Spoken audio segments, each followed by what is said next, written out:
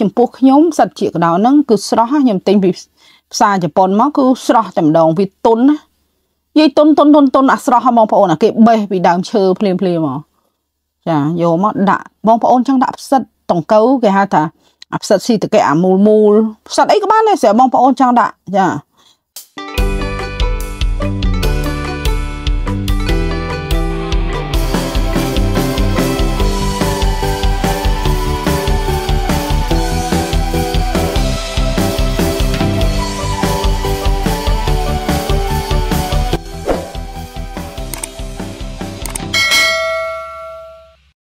ជំរាបសួរពុកម៉ែមេមីងបងប្អូននិងក្មួយៗទាំងអស់គ្នាថ្ងៃនេះខ្ញុំសូមបង្ហាញអំពីវិធីខសាច់ជ្រូកឲ្យមានរសជាតិឆ្ងាញ់ចាហើយមានពណ៌ស្អាតណាចាសាច់ជ្រូកនេះគឺជាសាច់ជ្រូកចៃឡាំងគឺសាច់ជ្រូកស្មើមុខនិងសាច់ជ្រូក3ជាន់លាយគ្នា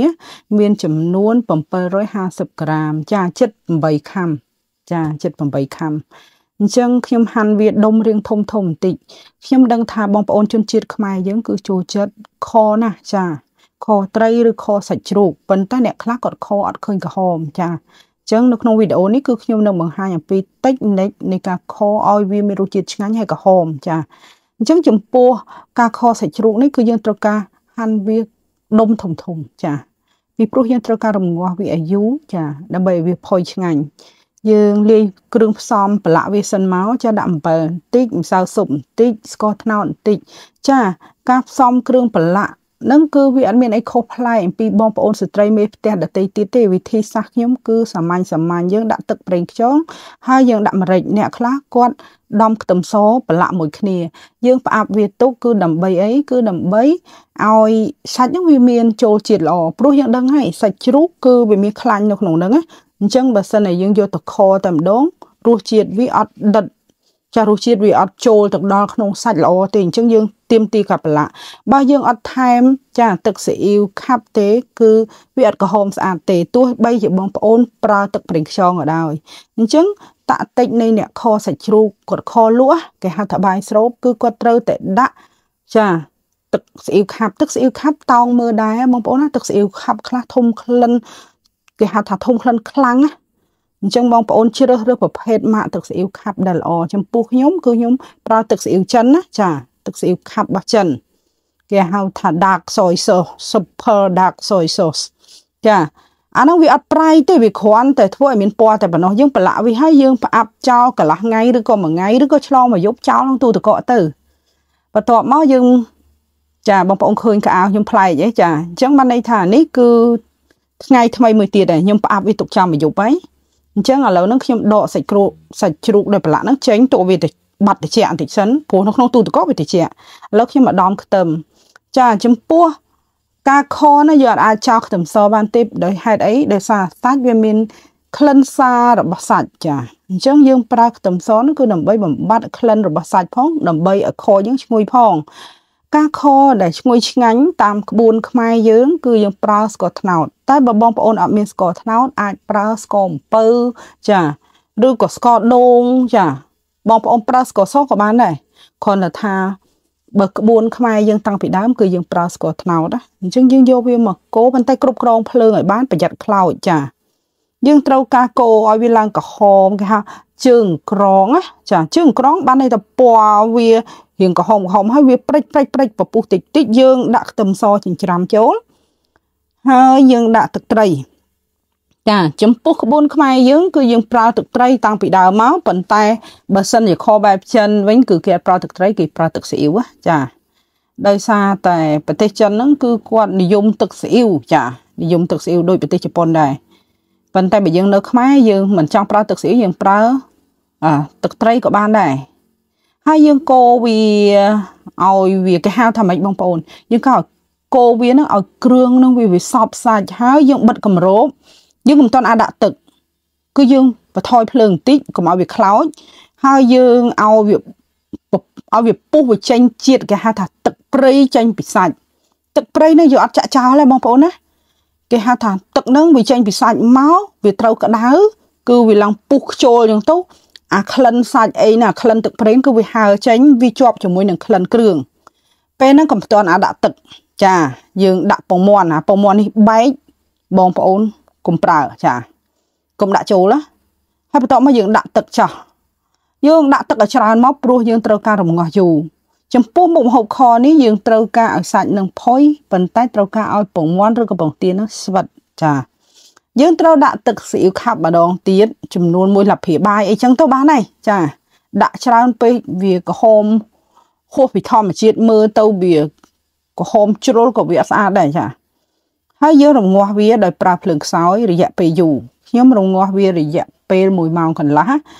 ដោយសារសាច់ជ្រូកនៅប្រទេសជប៉ុនណាវារៀងស្វិតបងប្អូន ពេលដែលខ្ញុំមករស់នៅប្រទេសជប៉ុនអ្វីដែលខ្ញុំភ្ញាក់ផ្អើលគឺសាច់ជ្រូកនៅប្រទេសនេះរៀងស្វិតអត់ដូចសាច់ជ្រូកស្រុកយើងទេពេលខ្លះខ្ញុំឆ្ងល់តាស្រុកយើងសាច់ជ្រូក3ជាន់ហើយយើងស្ងោរផ្លែតផុយសាច់ជ្រូកនៅប្រទេសជប៉ុននេះ1ម៉ោងអីម៉ោងកន្លះអីបានផុយចាអត់ដឹងមិនហើយជាការចិញ្ចឹមជ្រូកវាខុសគ្នាចាឥឡូវហ្នឹងដំណាក់កាលដែលវាពុះយើងដងពពុះចេញមកចាយើងយកកត្រងចឹងក៏បានយកវែកក៏បានដែរចាបងប្អូនឃើញកាកកាកហ្នឹងខ្ទឹមសយើងដួសវាចោលមក ហេតុអីបាទខ្ញុំថាដួសចោលបងប្អូនខ្ទឹមសយើងលីងវាឈ្ងុយក្លិនវាចូលទៅក្នុងទឹកអស់ហើយតែបើបងប្អូនចង់ទុកក៏ទុកណាប៉ុន្តែដោយសារវាឡើងមួយពពុះខ្ញុំដួសចេញចាបងប្អូនឃើញទឹកខទំនងឆ្ងាញ់អត់ចាចំពោះមុខម្ហូបមួយមុខនេះគឺខ្ញុំអត់មានថែមគ្រឿងអីផ្សំថែមទៀតទេអ្វីដែលខ្ញុំប្រើនៅក្នុងនឹងគ្រឿងផ្សំរសជាតិមានស្ករត្នោតទឹកត្រីអំបិលម្សៅស៊ុបម្រេចនិងទឹកស៊ីអ៊ីវខាប់និងខ្ទឹមស បើបងប្អូនចង់ដាក់ខ្ញីបន្តិចក៏ដាក់មកនេះគឺម៉ែក្មេកខ្ញុំជនជាតិជប៉ុនគាត់មកណែនាំឲ្យប្រើប្រទេសនេះដើម្បីឲ្យវាចាប់ពពុះបានន័យថាអានឹងយើងយកដាក់ទៅលើស៊ុបឬមួយក៏ដាក់ទៅលើឆ្នាំងខហ្នឹងទៅ វានឹងតោងយកពពុះអស់គាត់ប្រាប់អញ្ចឹងណាព្រោះខ្ញុំដួសពពុះហើយប៉ុន្តែវានៅមានណាបងប្អូនមិញបងប្អូនឃើញខ្ញុំដួសទាំងពពុះដោយប្រើកត្រងហើយខ្ញុំប្រើស្លាបព្រាទៀតប៉ុន្តែវានៅតែមានកាកពពុះនៅលើ ចឹងចំពោះជនជាតិជប៉ុន គេមានអានេះគេហៅស្ទះដូចជាកណាត់កណាត់សលៃអញ្ចឹងអាហ្នឹងគឺគេផលិតមកគឺគេលក់នៅពេញផ្សារនៅក្នុងប្រទេសជប៉ុននៅ supermarket កន្លែងណាក៏មានលក់ដែរយើងយកមកគ្របពីលើវាគាត់ថាអញ្ចឹងម៉ាក់ក្មេងខ្ញុំគាត់ថាវានឹងតោងយកពពុះទាល់តែអស់ហើយធ្វើឲ្យទឹកខយើងគឺស្អាតហើយគាត់ថាទុកចោលទៅរហូតទៅដល់ពេលវាឆ្អិនយើងបើកក៏បានដែរចិត្តឆ្អិនណា នេះបងប្អូនកន្លែងដែលបើកនេះខ្ញុំភ្លេចថតបងប្អូនអូយនេះខ្ញុំដកចេញហើយគឺស្អាតហ្មងបងប្អូននិយាយទៅគឺខខ្ញុំហ្នឹងគឺពណ៌ស្អាតតែម្ដងហើយបងប្អូនឃើញក្រហមក្រហមហ្នឹងគឺផ្សិតតិចកដោចាផ្សិតតិចកដោបងប្អូនចង់ដាក់ដូចថាត្រាំទឹកវារីកហើយបងប្អូនដាក់ទៅប៉ុន្តែចំពោះខ្ញុំសិតជាកដោហ្នឹងគឺស្រស់ខ្ញុំទិញពីផ្សារជប៉ុនមកគឺស្រស់តែម្ដងវាទុនណា យាយទុនទុនទុនទុនអាស្រស់ហ៎បងប្អូនអាគេបេះពីដើមឈើភ្លាមភ្លាមមកចាយកមកដាក់បងប្អូនចង់ដាក់ផ្សិតតង្កូវគេហៅថាអាផ្សិតស៊ីតកែអាមូលមូលផ្សិតអីក៏បានដែរស្រាប់បងប្អូនចង់ដាក់ចាឬក៏បងប្អូនចង់ដាក់តៅហ៊ូក៏បានចានេះគឺខរបស់ខ្ញុំណាសាច់ជ្រូកផុយអស់ហើយចាពងមាន់ក៏ពណ៌វាស៊ីសង្វាក់គ្នាវាល្មមឆ្ងាញ់ចាបើបងប្អូនចង់ទុកឲ្យវាពណ៌ស្អាតថែមទៀតបងប្អូន ទុកវាស្អែកខាងស្អែកបងប្អូនក៏ដៅពីម្ដងទៅវាឡើងក្រហមហើយប៉ុន្តែចាំឲ្យច្បាស់បងប្អូនណាបើបងប្អូនចង់ដាក់ទូទឹកកកបងប្អូនទុកឲ្យវាតិចសិនកុំយកដាក់ទូទឹកកកទាំងក្រៅចាអានឹងតាតិចរបស់ចុងភៅបើយើងទុកទូទឹកកកពេលយើងយកចេញមកវិញយើងកម្ដៅទៀតចាប៉ុន្តែកម្ដៅកុំច្រើនដងពេកចាតែកម្ដៅច្រើនដងពេកវាធ្វើឲ្យយើង មិនមានសុខភាពល្អទេព្រោះមកហូបគេមិនឲ្យហូបអសល់យូរយូរថ្ងៃទេចាកម្ដៅ2ដងអីហូបតែ2ដងហើយអស់ទៅលើកូនយើងមីក្រោកពីគេមកយំទៅតប៉ាលួងញែកញាក់ណាកូនខ្ញុំកូនពៅយ៉ាងហ្នឹងគេថាគេនៅងុយទៅដាស់គេឆាដល់មកញ៉ាំបាយមិនដាស់បងប្អូន បងប្អូនអរគុណច្រើនណាស់សម្រាប់ការតាមដានទស្សនាវីដេអូនេះតាំងពីដើមរហូតដល់ចប់បើបងប្អូនចូលចិត្តវីដេអូនេះកុំភ្លេច share ចេញម្នាក់មួយបើបងប្អូនមិនទាន់ចុច follow Facebook page នេះទេសូមចុច follow Facebook page សម្ផស្សអែកគំខ្ញុំនឹងចេញវីដេអូថ្មីថ្មីប្លែកប្លែកគួរឲ្យទីចាប់អារម្មណ៍ដល់បងប្អូននៅពេលក្រោយៗទៀតចា៎សូមអរគុណច្រើនសូមជម្រាបលាជូនពរបងប្អូនទាំងអស់គ្នាសុខសប្បាយបាយបាយ